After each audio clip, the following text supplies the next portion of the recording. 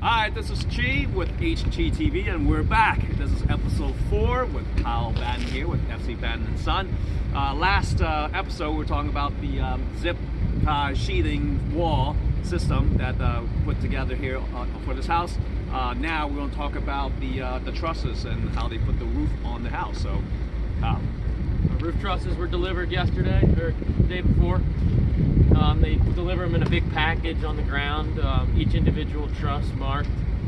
Um, I've gone through the whole house and taken measurements of all, all the wall dimensions and verified so when they build these trusses, they fit on the framing that we have put together. Um, when they come, there's a bit of prep work involved before the crane comes.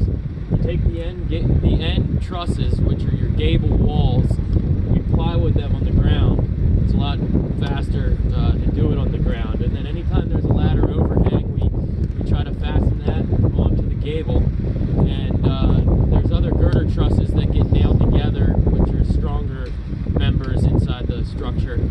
And once they're already on the ground, then when the crane comes, there's less time you're paying for the crane because more of the labor was done on the ground.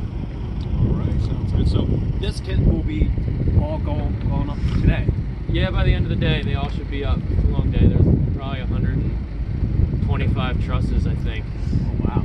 Um, some of them get real small on the on some of the dormers and stuff that we can hand up, but the big ones you got to get with the, with the crane. Sounds good. All right. Well, thank you so much for watching again. Uh, watch out for the next episode. Kyle, thank you so much. It's welcome. All right, and we'll see you next time.